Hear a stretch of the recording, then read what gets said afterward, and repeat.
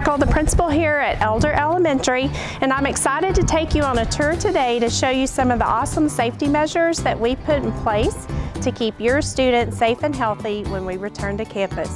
Come on inside, let's take a look. One of the things that you'll notice when you first step up to the door is that we have a new camera and intercom system. If you come to check your student out early, Mrs. Rincon will visit with you through that before allowing access into the building. We also have the COVID screener questions here, and she'll be asking you those before letting one parent in at a time for dismissal. When you come into our campus, you'll notice that we have plexiglass up. That's to protect our staff and you as well. We also have hand sanitizer by the door.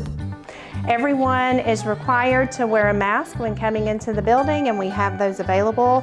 We also have a staff sign-in sheet for district employees um, with pens available that have been cleaned versus those that have been used. We have our traffic patterns marked for the cafeteria so that students are coming in one area and then they're exiting out a different area when they leave. Lunchtime is a time where our students can be mask free and visit with their friends, but we do have our tables labeled so that when they're sitting, they are appropriately social distanced apart. We also have social distancing marked on the floor so that as they're entering into the cafeteria doors, they're standing six feet apart. All of our restrooms, we have every other stall blocked off for student safety. Also, for our hand washing area, we have one sink available. The other one is blocked off so that we are able to social distance students.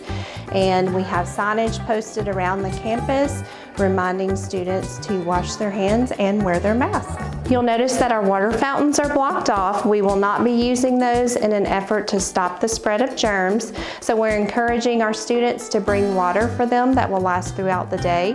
And we will have water available for those that need it. We're in the process of converting this room into a room that will be used as a COVID room for students who exhibit COVID-like symptoms.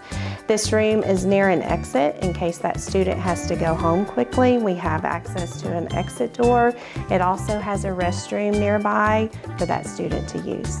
We're in the process of converting this room into one of our rooms that will be used as a relocation room should we have to move students out of a room that needs to be disinfected into a room where they can continue to learn with their teacher until their classroom is clean and ready. Drop-off will be at the back of the school again this year. Students will come into the building and if they need breakfast, they will get their breakfast and head straight to their classroom. If they don't need breakfast, they'll go to their classrooms where monitors will be waiting to watch them until school starts. Many parents have asked about recess and recess will definitely be a part of our day. We will bring our students outside as weather permits. We have a pretty large playground so we'll be able to separate our students out by class. One grade level at a time will be outside.